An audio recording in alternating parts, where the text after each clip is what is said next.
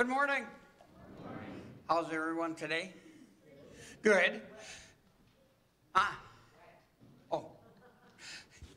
Okay. Never, pardon me. I thought she said, I thought maybe I wasn't coming through on the microphone or something. I think we're good. Now, there was no ringing of the bell this morning because we couldn't find the key to unlock the office where the bell is. So, ding ding, welcome. Couple of announcements, bunch of announcements. Um, first off, uh, if anyone's interested, we now have, because I've received the request a couple times this summer from visitors, gluten free wafers. So if you have a gluten issue and you need a gluten free wafer, let me know and we can arrange that. I have them up here. Um, let's see. Voters meeting today, immediately following the service. Hopefully, it's a short one. Uh, the topic of discussion will be creating a uh, paid position for treasurer. So uh, you can join us for that. And uh, like I say, hopefully we'll be in and out. And then that will be followed with Bible study, which is today we are looking at uh, John, the gospel writer, epistle writer, revelation writer. So you can join us for that. And then we have Monday morning Bible study tomorrow. And I think that's it. Prayers. Jerry Gursky, Judith Wismith, Harold Larson, Russell Joyner, Andrew Ruthberg, Tyler Hildebrandt, Terry Haas, Steve Bauer, and today we are adding Diane Beiersdorf to the prayer list. Um, Diane asked me to give you a little update on why she's on the prayer list. A couple of weeks ago, Diane had her um, annual mammogram and it came back that Diane has uh, stage three breast cancer. So Diane is uh, going into treatment for that. She starts chemotherapy this coming week, and that's going to be for a while. So while she's doing that, um, of course, she's supposed to stay away from people because it does a job on your immune system. So we won't be seeing her for a little while, but we'll certainly be in communications with her. The one thing Diane did say is that, you know, she wanted you all to know, but she said, please don't everybody call me at once. So kind of space out your calls, coordinate that amongst yourselves, okay? And we will keep Diane in our prayers. Um, I think that's all I have. Does anyone else have anything? All right. Well, as we gather today, we hear of Jesus healing Bartimaeus, a blind man. Jesus had healed another blind man in the town of Bethsaida. There, the first healing touch of Jesus didn't seem to work completely. Strangely, the man's sight was only partially restored. What was missing? It took a second touch to restore his sight fully. With Bartimaeus, there was no second touch of Jesus. Actually, there wasn't even a first touch at all, only his word, Go your way your faith has made you well. The metaphor of physical blindness speaks of the spiritual blindness that we, with the first disciples, need to confront, namely sin, our separation and alienation from God. Jesus spoke three times between these two healings of his ultimate act and victory over death. True faith sees our ultimate healing only through the suffering, death, and resurrection of Jesus. Faith follows after Jesus through the cross. We begin with our opening hymn, Today Your Mercy Calls Us.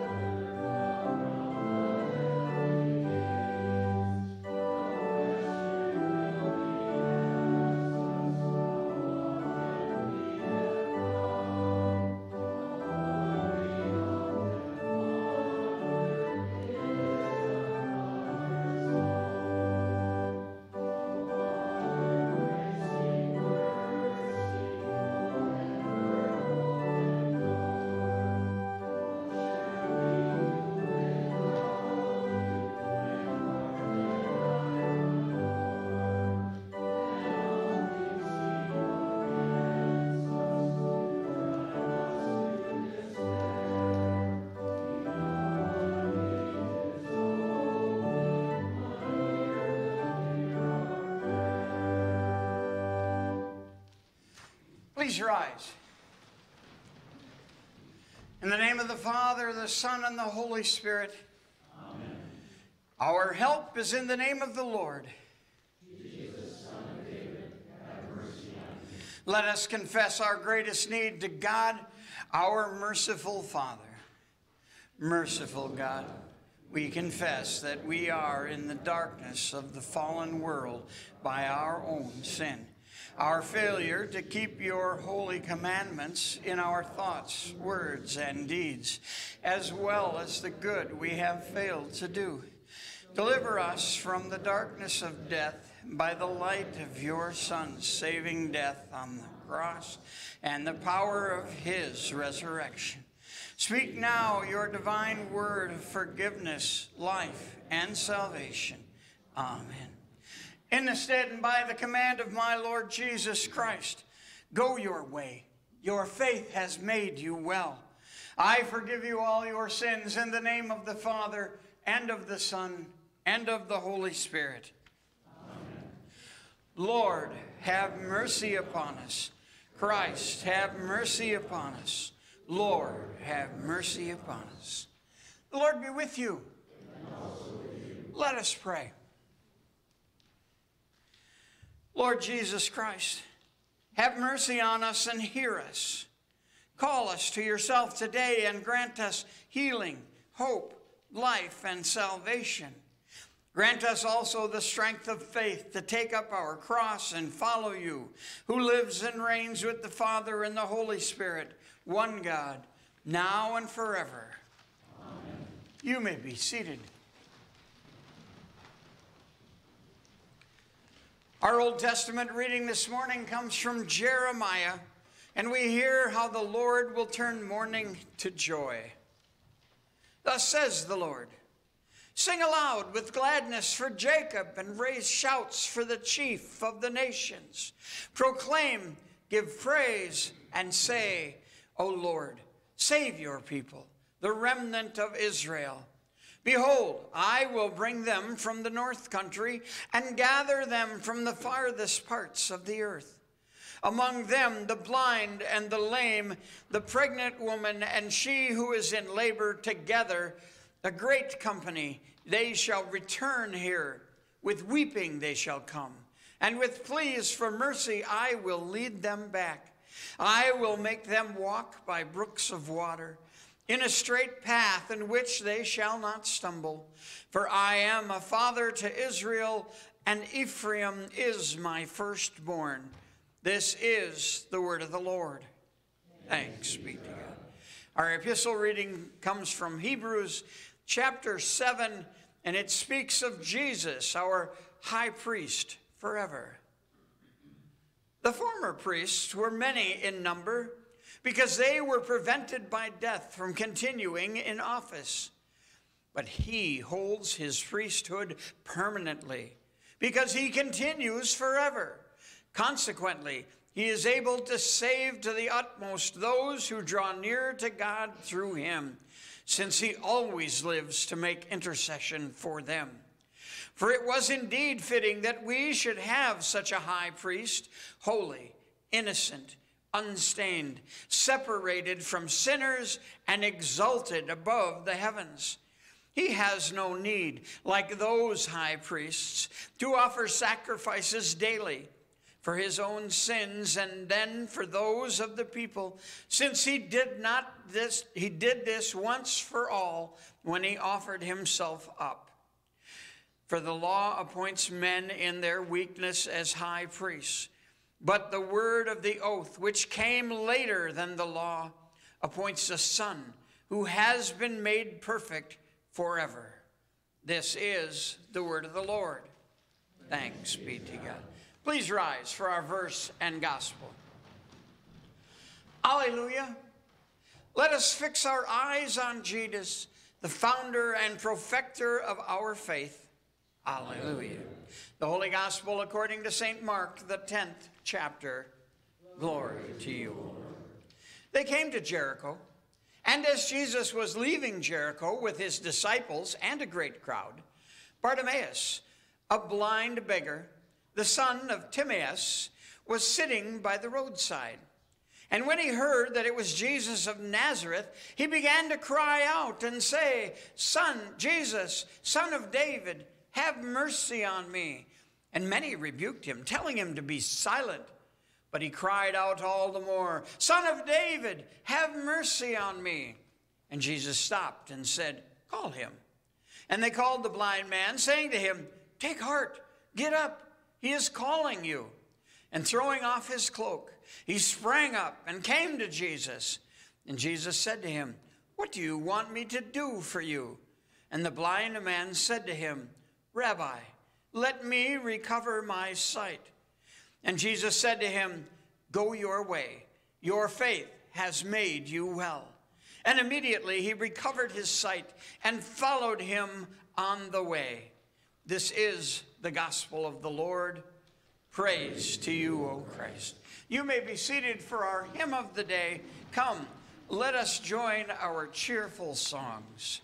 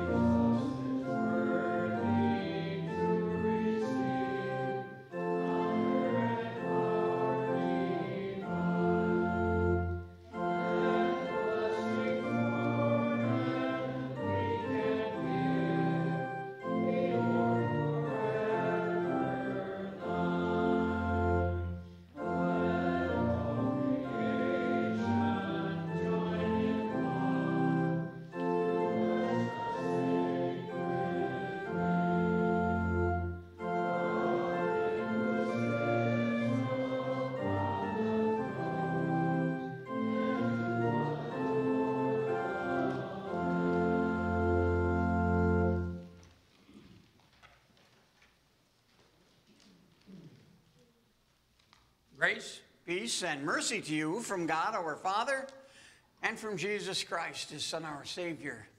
Amen. Blindness and sight. That's what our gospel story is about today.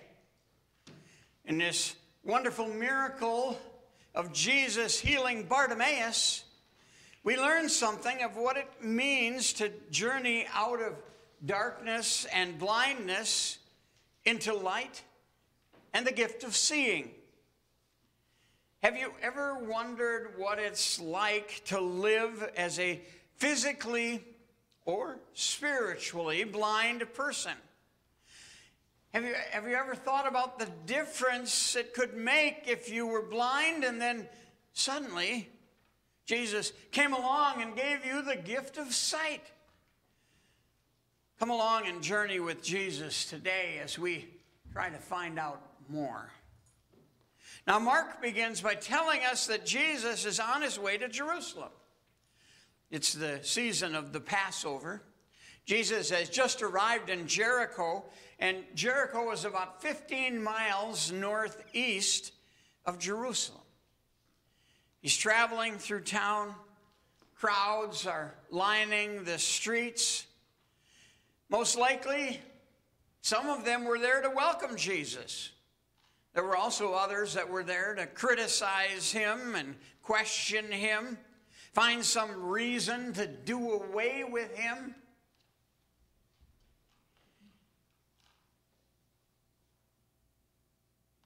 It was customary at that time for, for rabbis to have a following.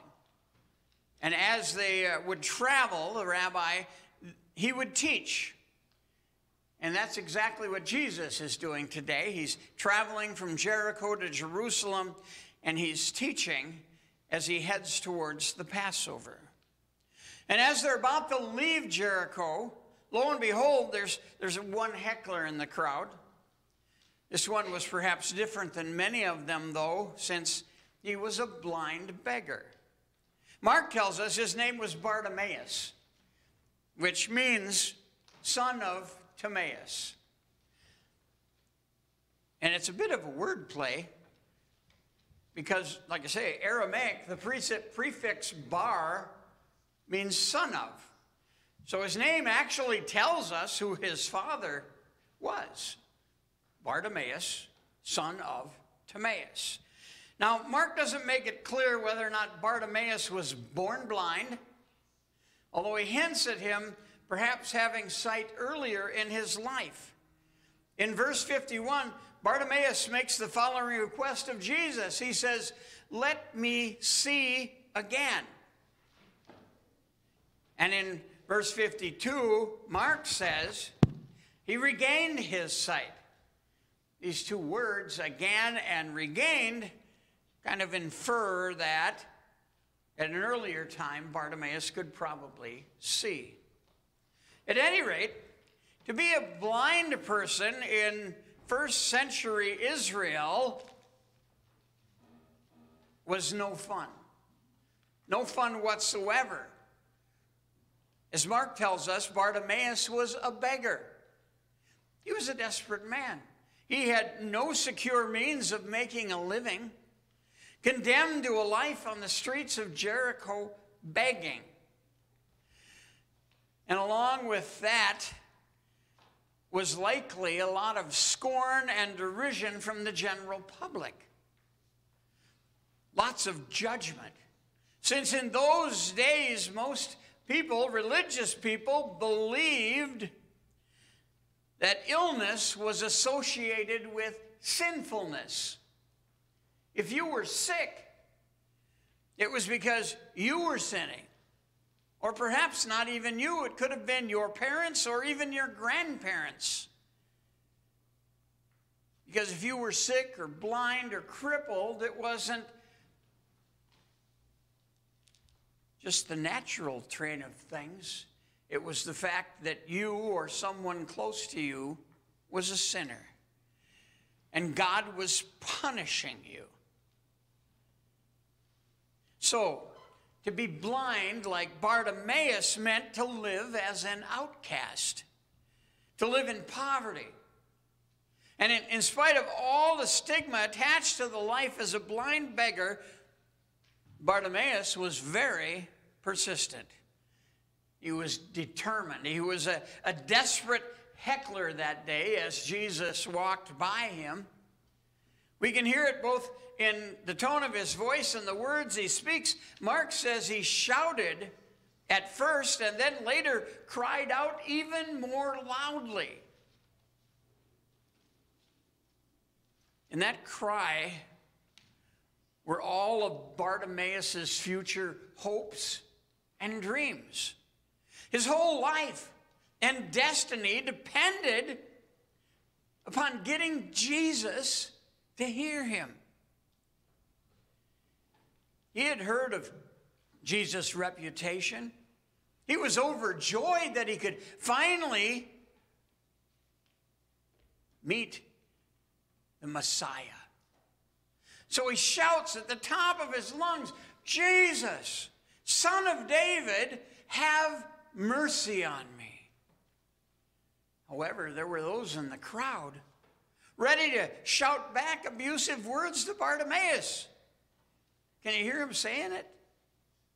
How dare you, blind heckler? Leave Jesus alone. Shut your mouth, you blind beggar. We'll throw you to the wild beasts. Get out of there. Away with you, you good for nothing sinner. In spite of all the judgment and condemnation, in spite of all the loneliness and pain because of status, in spite of his own inner struggles at self worth, Bartimaeus is determined not to be silent at this time.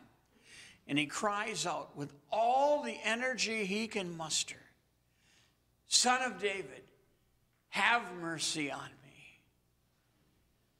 It's rather telling that Bartimaeus, even though he is blind and a beggar, addresses Jesus as Son of David.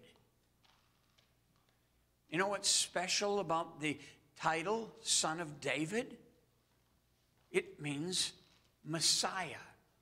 Could have been the way, reason some of the people were telling him to shut up because they didn't want to believe that Jesus was the Messiah. But by saying son of David, Bartimaeus, even though he's a blind beggar, is recognizing through his spiritual insight that Jesus is the Messiah. He's more religious, more spiritual, more spiritually clean than those religious folks who judged and condemned and ridiculed him. You may have remembered that wonderful passage from Isaiah describing the Messiah's work. It says, I have given you as a covenant to the people, a light to the nations, to open the eyes that are blind, to bring out the prisoners from the dungeons, from the prisons, those who sit in darkness. Bartimaeus' blindness felt like one dark prison. He was trapped, and he could not, no matter how hard he tried, escape from this trap. He needed Jesus, the Messiah, the Son of David, to do this. Only the Messiah could heal his blindness. Only the Messiah could release him from his dark prison, and he knew it. Thus, his loud plea. Here's the question of the day What sort of blindness? What sort of dark prisons trap us? What blindness do we need Jesus to heal of us? Our plea, our prayer, our desperate desire, our words of request to Jesus may be the same as Bartimaeus as we come to this altar today for healing. Jesus, Son of David, have mercy on me. Whatever blindness may be keeping us trapped in a dark prison, only Jesus can heal us. Bartimaeus trusted that was true. Do we? As the story continues, in verse 49, everything changes. Jesus stops in his tracks and he instructs someone to Call him here. Those who a moment ago turned away, walked by, and ignored that blind beggar now actually listen to Jesus and they obey him. And they approach Bartimaeus and offer words of acceptance, invitation, and encouragement. They say, Take heart, get up, he's calling you. The one who spoke these words, maybe it was one of Jesus' disciples, who had witnessed Jesus healing miracles before, now he's anticipating what Jesus is going to do, and that he's figuring it's probably going to be something pretty wonderful for this blind beggar. I wondered, I wonder too if there's not a bit of play of words here. Perhaps the words, He's calling you, refer to a, a double call. The immediate call into Jesus' presence right here, right now, as well as the call to a new life.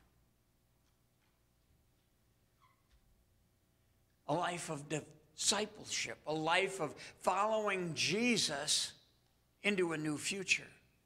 At any rate, uh, Bartimaeus responds. He, he throws off his cloak possibly so that he'd have nothing to, to trip on and prevent him from reaching Jesus. And after he throws off his cloak, he jumps up and enthusiastically comes to Jesus. You know, it's possible that that thrown off cloak could perhaps be a symbol of, of leaving behind his life as a beggar. As he moves into the future of not only physical, but also spiritual sight by following Jesus. Then comes that wonderful encounter. Jesus asks Bartimaeus, What do you want me to do for you? The question may function to highlight the message that Jesus never forces himself or his will on anyone. He gives everyone the opportunity to freely, without coercion, respond to him. At any rate, Bartimaeus says, My teacher, let me see again. The word my indicates Bartimaeus is willing to follow, willingness to follow Jesus as a disciple. Jesus responds by saying, Go, your faith has made you well. Point of interest here if you happen to have an ESV Bible, which is what we use, it says, Go, your faith has made you well. If you happen to have an old NIV Bible, it would say, Go, your faith has made you well. If you happen to have a King James, or better yet, if you can read Greek, the statement actually says, Go, your faith has saved you. Jesus, however, doesn't mean faith in faith, but faith in Jesus. Faith in the power to heal him. Faith is complete trust in Jesus. In spite of all the barriers that people put in place to prevent Bartimaeus from coming to Jesus, Bartimaeus had faith. Mark concludes the story by telling us that his sight was regained and he followed Jesus as a disciple on the way. On the way to Jerusalem, where Jesus would suffer and die on the cross and three days later be raised from the dead. So today, this very day, when, when you come forward to receive the Lord's body and blood, when you come forward to receive healing, Jesus asks you, What do you want me to do for you? It's an invitation. It's an invitation to each one of us to come and receive Christ's healing in our lives. Whether our healing be physical, emotional, mental, or spiritual. And like Bartimaeus, in response, we follow him on the way to his suffering, death, and resurrection. His way of life, his way of healing, and his way of salvation for all of us for all people. Jesus, Son of David, have mercy on me. Amen. Now may the peace of God, which passes all human understanding, keep our hearts and minds in Christ Jesus. Amen. If you would, Please rise and join with me as we profess our faith in the words of the Apostles' Creed. I believe in God the Father Almighty, maker of heaven and earth, and in Jesus Christ, his only Son, our Lord, who was conceived by the Holy Spirit, born of the Virgin Mary, suffered under Pontius Pilate, was crucified, died, and was buried he descended into hell. The third day he rose again from the dead. He ascended into heaven and sits at the right hand of God the Father Almighty. From thence he will come to judge the living and the dead. I believe in the Holy Spirit, the holy Christian church, the communion of saints, the forgiveness of sins, the resurrection of the body, and the life everlasting. Amen. You may be seated as we continue with the prayer of the church. Gracious and merciful God, we give you thanks that you have restored our spiritual sight in the salvation you have given the whole world through the blessed and glorious death and resurrection of your Son, Jesus Christ our Lord. Help us to fix our eyes continually upon him as he comes to us here in the preaching of your holy word and the faithful administration of your holy sacraments. Enable us to follow him in the way that leads to the eternal vision of everlasting life. Lord, in your mercy, hear our prayer. Guide and defend your whole church. Bless Matthew, our synodical president, Dwayne, our district president. Grant wisdom and grace to all pastors, and send the light of your truth into all the earth, that many may come to receive your grace and salvation. Lord, in your mercy, hear. Today we thank you especially for Lutheran Braille workers who serve those with vision impairments with religious and spiritual materials. Bless the many volunteers in this service to blind and low vision people worldwide. Lord, in your mercy, hear. Preserve our nation in justice and honor, that we lead a peaceable life with integrity. Grant health and favor to all who bear the offices of government in our land. Help them to serve all people according to your holy will. Guard and protect all who serve in the armed forces of our country. Grant them faithfulness and success in their service, and grant that their homecomings be joyful. Lord, in your mercy, hear our prayer. By your word and Holy Spirit, control all who are in sorrow Comfort all who are in sorrow, need, sickness, or adversity. Especially this day, we pray for Sherry, for Judith, for Harold, for Russell, for Andrew, for Tyler, for Terry, for Steve, and for Diane, as well as all of those on our extended prayer list and those we name now in our hearts.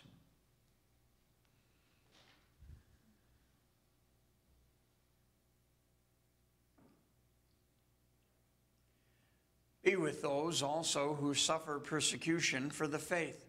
Have mercy on all whom death draws near. Sustain and bless all who care for those that suffer.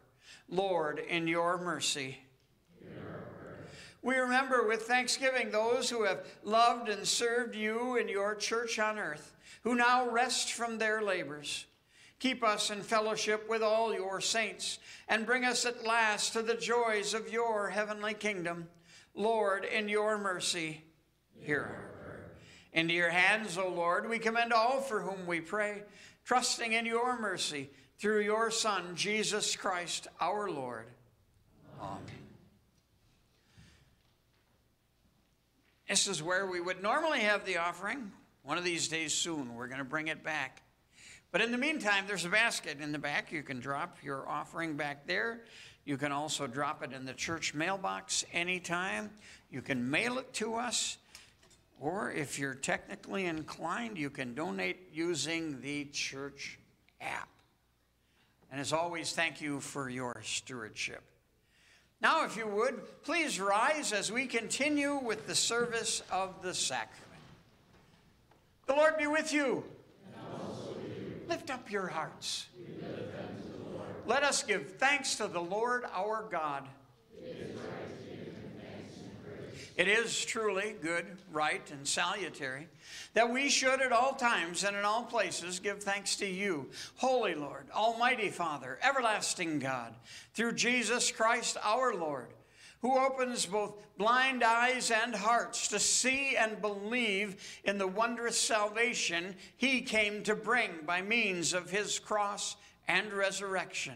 Therefore, with angels and archangels and with all the company of heaven, we laud and magnify your glorious name evermore, praising you and saying, Holy, holy, holy Lord God of Sabaoth.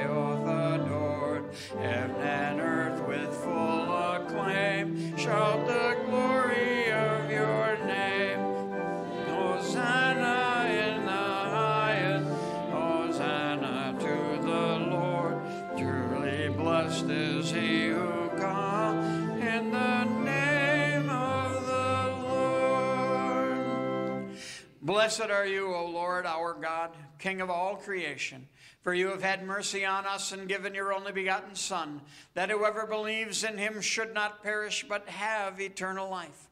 By his coming, he proclaimed good news to the poor, liberty to the captives, and recovering sight to the blind, even to such as blind Bartimaeus, and even to such as we who call upon you here and now by your powerful word. Draw us to yourself. Grant that we who partake in your holy body and blood see you more clearly and be strengthened to deny ourselves, bear our own crosses, and follow you. Hear us as we pray as you have taught us. Our Father, who art in heaven, hallowed be thy name. Thy kingdom come, thy will be done on earth as it is in heaven. Give us this day our daily bread and forgive us our trespasses, as we forgive those who trespass against us. And lead us not into temptation, but deliver us from evil. For thine is the kingdom, and the power, and the glory, forever and ever. Amen. Our Lord Jesus Christ, on the night when he was betrayed, took bread. And when he had given thanks, he broke it, gave it to his disciples, and said, Take, eat. This is my body, which is given up for you. This do in remembrance of me. In the same way, also, he took the cup after supper, and when he had given thanks, he gave it to them, saying, Drink of it, all of you. This cup is the New Testament in my blood, shed for you for the forgiveness of sins. This do as often as you drink it in remembrance of me. The peace of the Lord be with you always. Oh, Jesus Christ,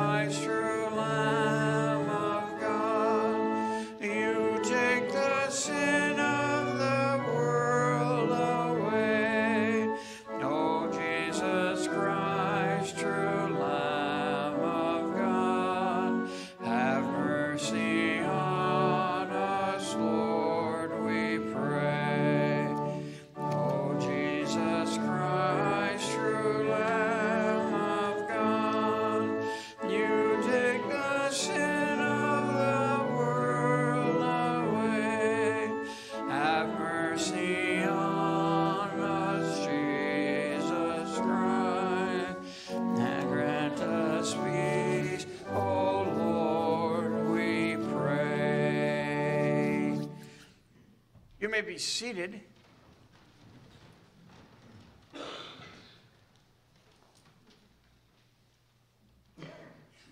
Um, let's see, communion. That's what we're doing now.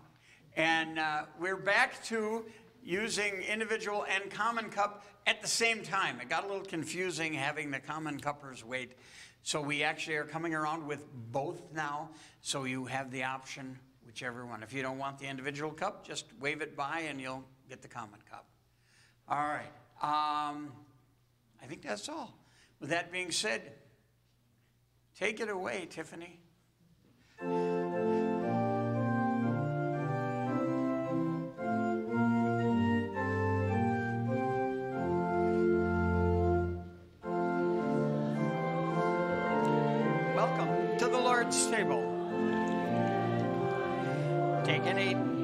This is the body of Christ given unto death for you.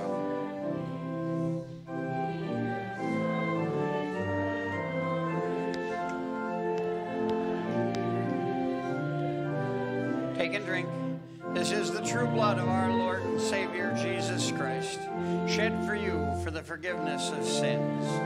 Now may this body and blood of our Lord and Savior strengthen and preserve you in the true faith from now until life everlasting. Go forth in his peace and joy.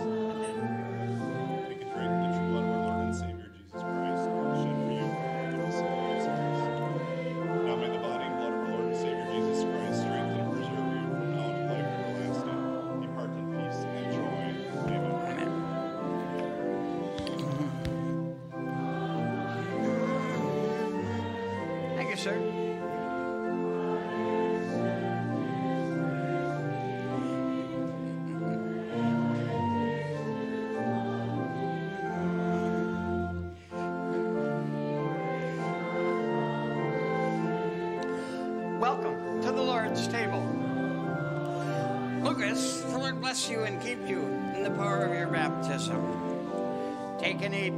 This is the body of our Lord and Savior Jesus Christ, given unto death for you. Give him the body of Christ, given unto death for you. Welcome to the Lord's table.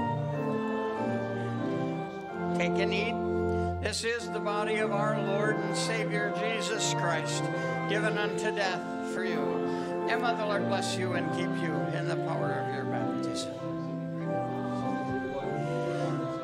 this body and blood of our Lord and Savior strengthen and preserve you in the true faith from now until life everlasting. Go forth in his peace and joy. Amen. Now may this body and blood of our Lord and Savior strengthen and preserve you in the true faith from now until life everlasting. Go forth in his peace and joy. Amen. Still on.